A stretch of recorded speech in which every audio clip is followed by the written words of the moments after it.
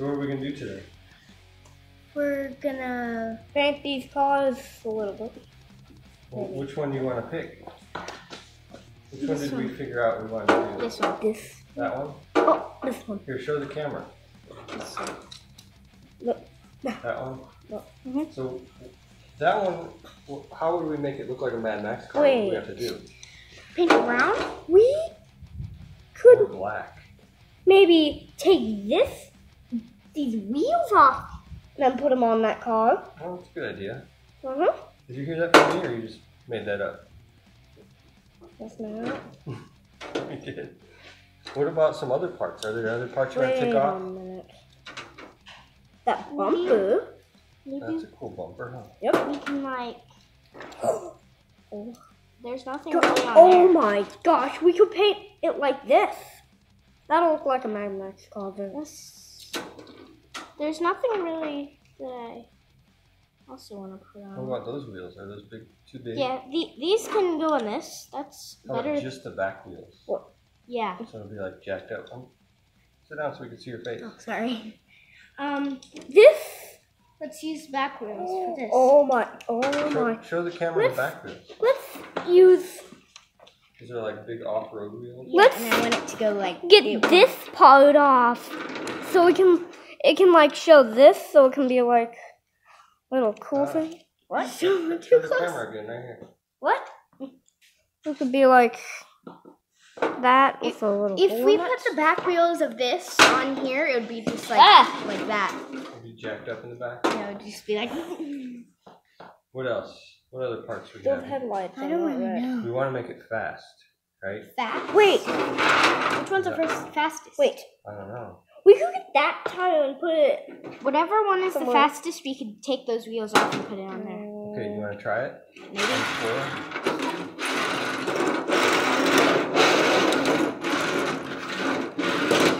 the? Let's try it on the floor. He literally said on the floor. Oh, Well, no, we can go ahead and do it on there. What? Oh. So what? Uh, let's do a race. so which one's the fastest? Okay, let's go ahead and see. Uh, Jimmy. Uh, Put them a line. Oh, that one touched in there. Oh, this one. but this one we don't have to test because, right? Okay. We don't have to test it because it's literally the one we're going to be using. Yeah. Okay. That one. Whoa. Ooh, it almost hit the line. Oh. Oh, That one. Here, let's race him at right at the camera. race them to the camera. Okay. Let's smash into it. Well, Okay, ready, set, go. ah! Oh, it hit the camera. Oh no. Bye bye.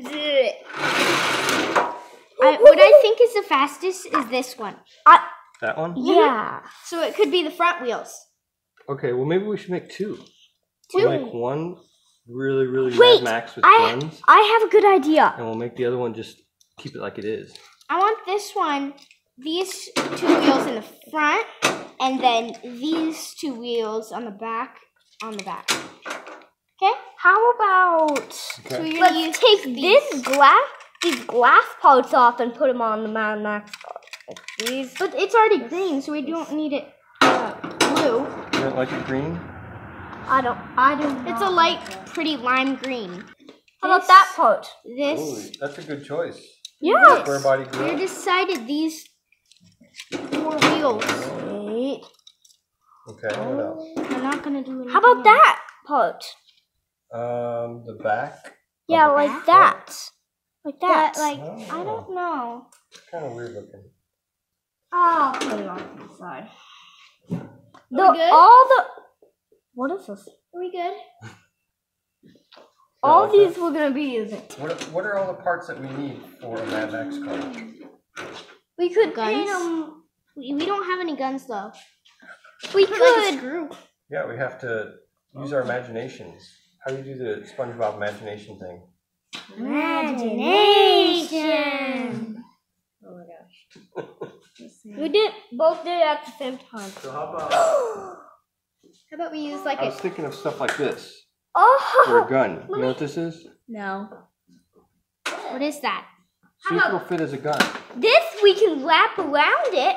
We can cut it But we and put- wrap around it. Should we put it like? Just wrap it all around it. Do you think it would get stuck? Do you in think we should put this like right here? like a big gun? Yeah. We You should wrap this What? around the It's a gun. hollow wall anchor for a screw. Hmm. We should wrap this. We should cut it like about this long. Uh huh. Then wrap it around the gun on the handle. Oh, okay. It'll look like a real gun. Do real guns have that wrapped around it? No, but it'll look like a real Mad Max gun. Oh, okay. What What else? This it? in here is where all the parts we're gonna be using. Okay, so we're gonna use one of everything of these. Except and we're gonna use that. I'm gonna use this. How about if we took two of these and we made dual cannons? Oh, cannons! Good It's idea. like two guns. I wanna put one like right here. Okay. I wanna put one right there. Right over the engine? Yeah. Okay, we'll figure something out. Or maybe right like this. Oh, look at that. Well, the kids got bored pretty quickly, so it was up to me to finish these uh, these cars off here. So I started by spray painting the bodies and the bottoms and the the seats and everything this nice flat black. And you can tell it was pretty hot. It was 97 today, um, so everything dried pretty nicely. I started taking that body apart on the car that I really wanted. I took some rear wheels off. I was doing some experimenting with some different, um, a couple other cars. You can see their off-road one, the NASCAR one, but I didn't like any of them as much as uh, this other truck. That truck you can see there with the blue hood. And here I'm mixing up some JB Weld to get the uh, the axle to stick in there, that rear axle. So you can see the big one, the rear ones are a little bigger. Here I clipped off the whole front doghouse of that car. I didn't like any of it, and I really liked the way it looked once I got that off, and it was just the whole front was exposed like that. It just added so much more to it. Now here I'm going to paint, and you can see this very precise uh, technical method of painting, and it's called paperclip painting. And I just dipped it in some silver uh, aluminum paint, and uh, what I do is I dry, kind of dry rag it. I guess you know you've heard of dry brushing. I do dry ragging. What I do is I basically go through, I get a little bit on there, I dab it with the rag, and then I dab it with my finger, and I just make sure that it looks, uh, it doesn't look too crisp. You know, this is a Mad Max car, so it's pretty worn out. So here I get the rag, I dip it in the, a little bit in the silver paint, and I'm rubbing it around to make uh, more of a, you know, like a tarnished metal look. And this is something I've done since I was younger. Uh, a lot of people dry brush. I do it like this. I don't know why, but it just always seems to, to work out really well for me. Uh, I used to do this on my model cars years and years ago.